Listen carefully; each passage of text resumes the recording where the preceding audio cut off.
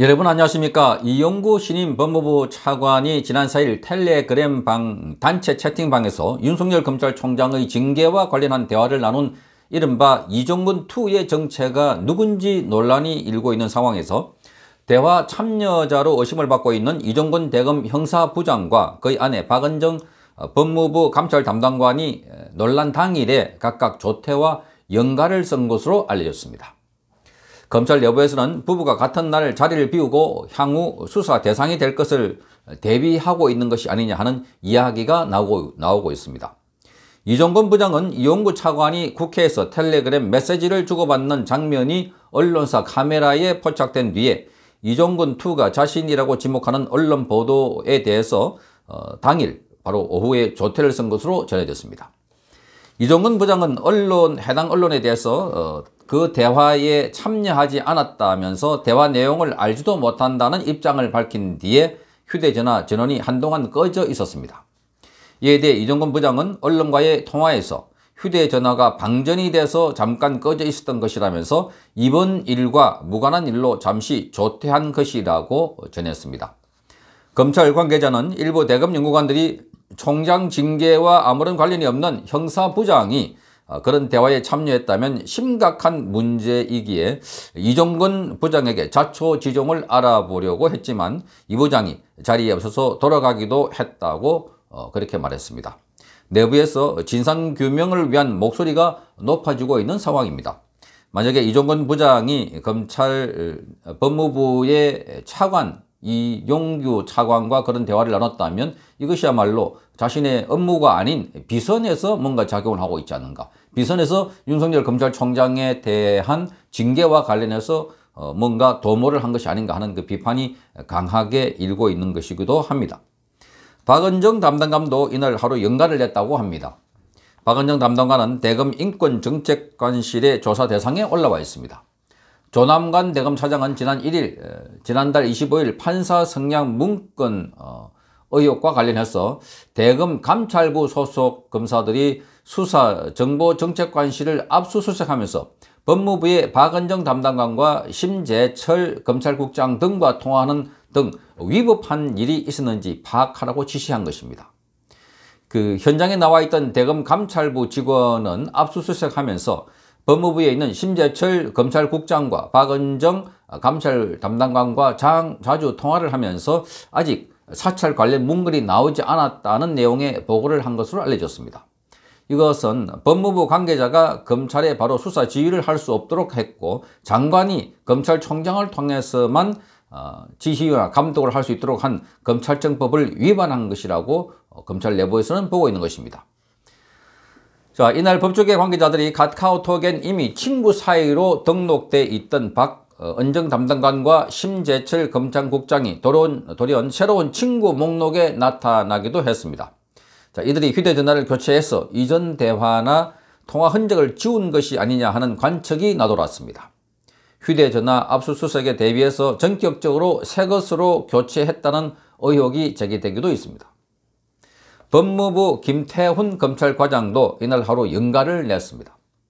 김태훈 과장은 주변에 많이 힘든 상황이라서 하루 쉬겠다라고 말했던 것으로 알려지고 있습니다.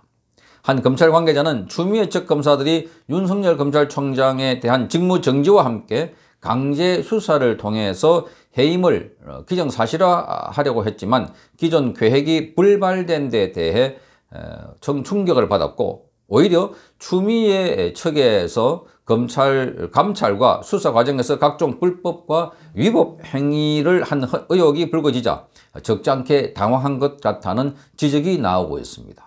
그러니까 이런 상황을 보고 친위 구데타를 일으키려고 하다가 오히려 실패했다 하는 이야기가 나오고 있습니다. 자, 이종근 부장과 박은정 감찰 담당관 부부는 둘 다 추미애 측 측근 인사로서 윤석열 총장의 징계와 직무 정지 등의 앞장서 온 인물로 평가를 받고 있습니다. 자, 이들의 전체적인 행위가 하나둘씩 언론에 보도되면서 관련자들이 지금 심적으로 많은 압박을 받고 있는 것으로 알려지고 있습니다.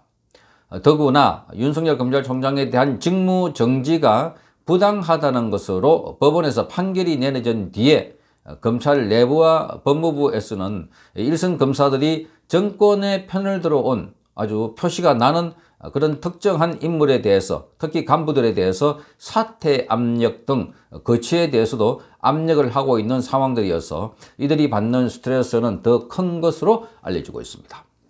정권 교체지나 내부 지도부 교체기 등 격변기에 어디에 줄을 서는가에 따라서 운명이 갈라지는 경우가 많은 것을 보아온 검찰 공무원들입니다. 자, 그들은 정작 눈치를 보거나 줄 설 필요 없이 독립적이고 중립적으로 수사에만 전념할 수 있도록 그런 여건을 만들어 달라 하는 것을 요구하고 있습니다. 이것이 검찰 개혁의 핵심이고 요체인데도 불구하고 문재인 정권은 엉뚱하게도 권력의 편을 드는 것이 검찰 개혁이라고 주장하고 있다는 것이 그들의 주장입니다.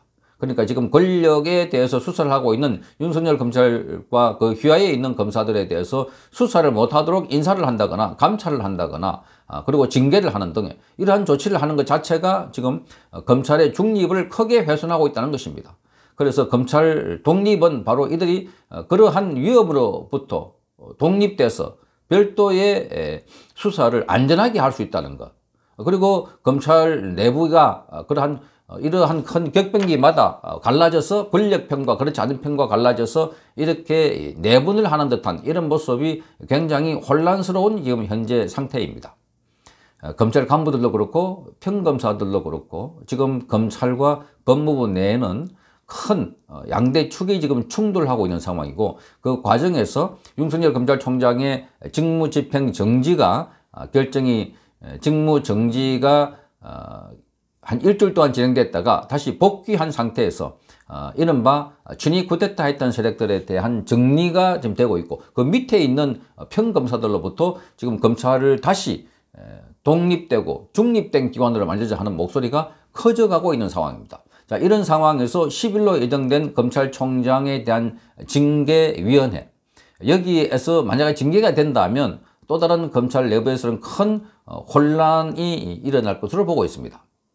따라서 이 10일에 이루어지는 검찰총장에 대한 징계위원회 어, 그 결과가 어떨 것인가에 대해서 어, 양당 간에 큰, 큰 변화가 있을 것으로 보여지고 있습니다. 지금 모든 검찰과 법무부 직원들의 관심은 10일로 예정된 검찰총장에 대한 징계위원회에 쏠려 있습니다.